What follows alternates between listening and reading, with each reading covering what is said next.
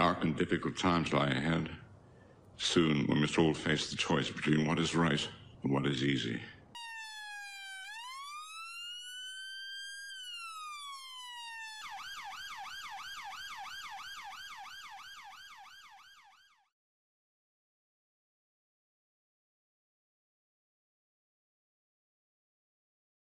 Hello, ladies and gentlemen, boys and girls, rhinoceroses and carrots, Well, whatever you identify as. Uh, it's me, Pap, and uh, this is a quick update. Now, you probably, if you've been following me for a while, uh, you'll know that I put a or I had a copyright strike put against me for a video that I made with regards to Police UK's YouTube channel. I subsequently had a copyright strike put against me, uh, which I defended. Took a, took a little while, but I defended it. And that went through YouTube and, and my defence went to the police I spoke to the police in emails as well, and they they threatened me with uh, their legal team basically. So you know we're we're getting immediate action or whatever it was from our legal team or advice. The Police UK web um, YouTube channel is part of the Sussex Police and the National Police Chief Council. When I put my counter notification in, the information for the channel owner was Sussex Police, NCP, uh, NPCC, National Police Chief Council. So I decided, uh, uh, in fact, I was asked by, I think somebody mentioned it in one of the comments. I, I then subsequently decided that I would do a subject access request to find out whether or not the video was public property, so to speak uh, and a little bit of info about that video. So I wrote to the National Police Chief Council through the website What Do They Know, which is a website that allows you to do subject uh, is a website that allows you to do freedom of information requests. And so I wrote to the National Police Chief Council and in my Freedom of Information request I simply put on the 2nd of May 2019 the police.uk YouTube channel uploaded their first video content entitled What the Police Do. Under Freedom of Information I would like to know the following. Was the aforementioned video or will any subsequent video content for the police.uk YouTube channel be financed from public funds available to the police? If not, then please explain where the funds for social media projects come from. Question two, what was the total cost involved in creating the aforementioned video content for the police.uk YouTube channel. Question 3. Why was the video content on the police.uk YouTube channel withdrawn, seeing as it was a public information video? Number 4. Who is responsible for the withdrawal of the content and will the funds used to create the content be refunded to whomever? The answer to question 1 turns out to be yours faithfully, me. I then had a response a what day did I send that? So I sent that on the 9th. Four days later, I had a response saying, unfortunately, I'm unable to accept your request in its current format because I'm unable to determine which video it is you refer. Now, funny that, seeing as there was only one video uploaded and I gave them the date. So how they can't work out, you know, what video it is from that information, I don't know. Uh, when conducting a search on YouTube O2 May What the Police Do, many results appear from different police stations nationally and internationally. Now, I've stated quite clearly on the Police UK YouTube channel. So, the, you know, this is one of the problems with the police and, and you know, and getting information out of them. They like to make things difficult. Um, but luckily, I'm quite tenacious and, and, you know, when I, when I aim to do something, I tend to put everything I've got into it. So I've conducted varying search requests, but I'm still unable to determine which video you refer. Therefore, I'm unable to identify the content of the material in order to establish which area of business to approach the information retrieved. It would be helpful if you could provide the link or detail the content of the video. So, I've put here the video, so I replied same day. The video in question was, as indicated in my initial request, on the police.uk YouTube channel itself, which can be found here. and There's a link to their channel. The video has subsequently been removed, which I did state in my first Freedom of Information request to them. There has only been one video uploaded to the channel, so I assume that being the case, it wouldn't be too difficult to establish from police.uk, Sussex Police, which video I'm referring to. I also note that the NPCC appeared to be linked to Sussex Police and the police.uk as owners of that YouTube channel and therefore, therefore the owners of said video. Yours faithfully, me. Then I received a response same day, which is quite unusual. The NPCC has no lawful obligation to retrieve information from another public authority in order to answer a Freedom of Information request. The NPCC does not own the YouTube platform to which you refer. Freedom of information legislation applies to recorded information held by a public authority at the time of the request. As I have stated, I've conducted various searches and I am unable to determine a video to which you refer, nor the content or subject matter of the video. The NPCC is not a police force or investigatory body. My consideration for you may be to make a request with Sussex Police. On this occasion, I'm unable to assist you. Now, as I said, when I done my copyright counter notification, it stated quite clearly that the owner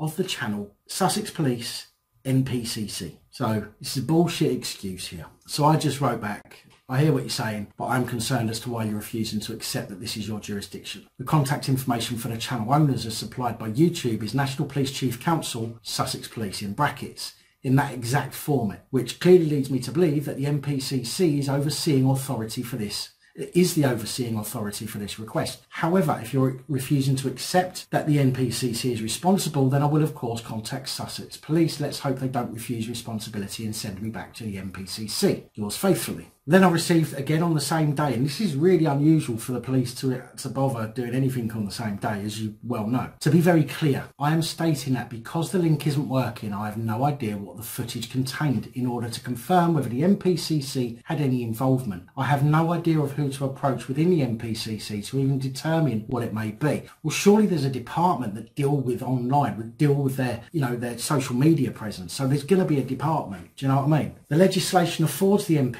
NPCC the right to refuse a request which isn't specific and doesn't describe the information that is being sought. This is the case in this instance. I've made many efforts this morning and this afternoon to try and assist you. I'm unable to determine whether the NPCC, Sussex or any other forces would hold the information that you are seeking. As you state, the message makes reference to Sussex. My only reasonable advice and assistance is to suggest you make a request with them. If you have more information as to the subject it relates or who uploaded the information to YouTube, if it was someone within the NPCC, I will of course try and locate it for you. At present, you have not provided enough information. If you're unhappy with my response and or efforts, you are very welcome to submit an internal review. So, refused. So what I decided to do was to go to Sussex Police. So I wrote to Sussex Police on the 2nd of May, exactly the same question as I asked the NPCC. I've, I got a notification just saying that it had been received. It's just a standard notification saying that, you know, they have X amount of days to work with it, you know, to get me the information, etc. 12th of June, which was more than 20 days. Now, bearing in mind, they have 20 business days to get the information to me, unless it's a, a, request that's asking for a lot of information. I've responded to them because I hadn't heard anything. Uh, my freedom of information request has yet to be fulfilled by law unless there is a valid reason for a delay and under the FOI Act 2000 you are obligated to respond within 20 working days. My original request was acknowledged on the 13th of May, making it 23 days now. I'm yet to receive a response and I've had no valid request to extend the deadline from yourselves, which there should be no need for. As you know, failure to respond on time means that I can request the ICO to conduct a review of your handling of this request, yours faithfully. That was on the 12th of June. On the 19th of June, Still nothing. So I wrote to them again. As you are aware, under the Freedom of Information Act, your main obligation is to respond to requests promptly within a time limit, acting as the longest time you can take. Under the Act, most public authorities may take up to 20 working days to respond, counting the first working day after the request is received as the first day. Working day means any day other than a Saturday or Sunday or public holiday or bank holidays. This may or may not be the same as the days that you are open for business or staff are in work. The time allowed for complying with a request starts when your organisation receives it, not when it reaches the Freedom of Information officer or other relevant member of staff. Certain circumstances may allow you extra time. However, in all cases, you must give the requester a written response within the standard time limit for compliance. All of that is copied from the ICO website. So I know that that is factual and correct. My request was submitted and was acknowledged by Sussex Police on the 13th of the 5th. I sent you a reminder that my request had not been completed on the 12th of the 6th, which was 30 calendar days. It is now the 19th of June, meaning that you have had 37 calendar days to fulfil my Freedom of Information request, and I've had zero response from yourselves, including no request for extra time to compile the information. I'm therefore within my right to request an internal review of your handling of this request and make a complaint to the Information Commissioner about the handling of my request. Please take this email as a formal request for an internal review of the handling of my request. Here is a link to my original request. Requests, requests a lot. Sussex Police responded on the five days later. Thank you for your email. I'm currently on to our analysts to see what has happened and that there is a rush on this request. Regardless, I will keep you updated and aim to get this information to you as soon as possible. And then 24, three days later, I received this. I write in reference to your recent request for information regarding the following. YouTube channel uploaded their first video content entitled What the Police Do. Section 1 of the Freedom of Information Act 2000 places two duties on public authorities unless exemptions apply. The first duty at Section 11A is to confirm or deny whether the information specified within a request is held. The second duty at Section 11B is to disclose the information that has been confirmed as being held. I can confirm that after inquiries the information specific to your request is not held by this force. However, we are aware that the video was funded by Digital Policing Portfolio and that the video was removed due to being hijacked by activists. Hijacked by activists. it might be beneficial for you to direct your FOI request to the DPP. For ease of reference, your original request in full is attached to the email. Now, the problem is I've searched for the digital policing portfolio information and I can't find it. All the links to the DPP that I can find are attached to Sussex Police or the um, uh, National Police Chief Council. So someone somewhere is talking out their arse or simply can't be bothered, okay, um, to get me the information. Uh, as I say, I've looked, I mean, look, digital policing portfolio, contact, okay, takes me to the National Police Chief Council, National Police uh, Association of uh, Police and Crime. If I open this up, there is nothing here about contacting them nothing at all about contacting them. Okay, apart from if you want a job, go to Sussex Police. Do you know what I mean? Follow the portfolio on Twitter at UK Digital Poll, um, which I have messaged them. So this is a direct message to digital policing. And I've just put, I've been directed to yourselves by Sussex Police Data Con controller regarding a freedom of information request. The request was first sent to the NPCC, who denied responsibility for providing the information, and then again the same response by Sussex Police, even though they seem to be under the same umbrella, as does the PP, DPP. So I am trying uh, to contact someone with regards to the police.uk YouTube channel and a video that was uploaded. If I cannot get an answer from yourselves and after three failed attempts from the organisations that I've been told are responsible, then I shall have no, uh, then I shall have to make a complaint to the ICO and ask them to investigate this matter for me. Is there a way to contact you to send an FOI request? That was sent on the 28th. It is now the 1st.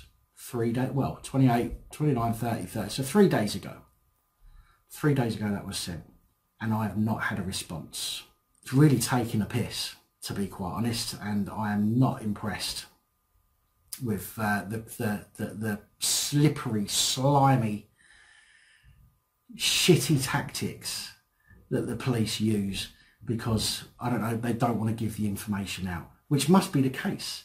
I mean, it's not, you know, it's not really sensitive information I'm asking for but yet they're trying everything that they can to pass the buck and get nowhere. So I cannot find a contact number for digital, um, whatever they called it, the digital policing portfolio. So I am kind of stuck at the moment. I am stuck at the moment as to what to do and how to get in touch with somebody. So there's a request for you guys, if anybody um, I don't know if any if there's anyone in Sussex, which would be great. If there's anyone in Sussex that can nip into Sussex Police Station and ask them for digital policing portfolio contact information, I would be very, very appreciative. Ideally a phone number. Remember, you don't have to tell them why you need it. Okay, so if, if you go in there and just say that um, I need the contact number for digital policing portfolio, please. And if they ask you why, that's your that's your business. It's got nothing to do with them between you and a DPP. So um, if there's anybody out there that's near Sussex that can do that for me, I would greatly appreciate that. Because at the moment, they, they just don't want to deal with me. Um, which is really getting on my fucking nerves. But yeah, so I'm going to leave it there. Again, it was just an update as to what's been going on there. Um, I'm still waiting for a lot more FOI requests to be answered. Um, a lot of these I've had some answered, but most of them I'm still waiting for a response and that should be around between the 11th and 13th of this month should be the time I have all of my freedom of information requests. I, I sent exactly the same FOI to every police force in the country, 43 of them. Uh, 43 police forces. I sent the same freedom of information request. Once I've got them all, I'm going to compile some information uh, and I'm going to share that with you. Uh, I also have another video coming out uh, with regards to uh, complaining to the police and the IOPC, but I'm not going to say too much about that at the moment because I'm waiting for a callback, uh, which I will be recording and adding on to the video that I've already started to make. So I'm going to leave that there. Guys, thank you very much. Appreciate uh, appreciate your time for you know for watching the video. Um, don't forget there's information in the description. And uh, until next time. Good night, all.